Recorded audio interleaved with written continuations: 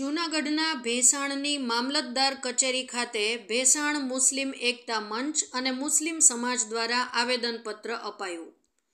કાજલ સિંગાડા ઉર્ફે કાજલ હિન્દુસ્તાની નામની મહિલાએ મુસ્લિમ સમાજ વિશે અભદ્ર વાણી વિલાસ કરેલ, જેને લઈને ઉના ખાતે ભડકાઉ ભાષણ કરેલ, જેથી મુસ્લિમ સમાજમાં રોષની લાગણી પ્રસરી હતી અને જેથી મુસ્લિમ એકતા મંચનું ભેસાણ મામલતદાર કચેરીએ આવેદનપત્ર આપવામાં આવ્યું.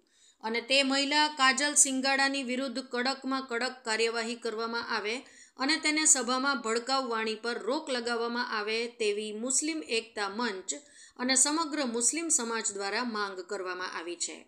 જે સભા હાલમાં ગીર સોમનાથના ઉના શહેરમાં વિવાદિત વક્તા કાજલ શિંગાળા કાજલ હિન્દુસ્તાની દ્વારા જાહેર સભામાં મુસ્લિમ સમાજ વિરુદ્ધ અપમાનજનક શબ્દોનો ઉપયોગ કરવામાં આવ્યો, જેને લીધે સમગ્ર ગુજરાતમાં ઘેરા પડઘા પડ્યા છે.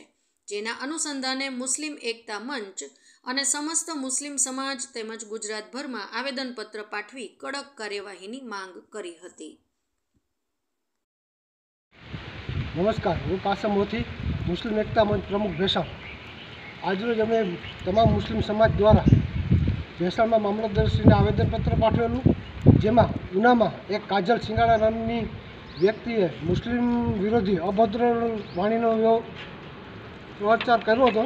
એના વિરુદ્ધમાં આજે અમે તમામ ભેસાણના મુસ્લિમ સમાજ મુસ્લિમ એકતા મંચ દ્વારા મામલતદારશ્રીને આવેદનપત્ર આપ્યું છે. આની સામે કડકમાં કડક કાર્યવાહી થાય એવી અમારી સરકાર પાસે માંગ છે.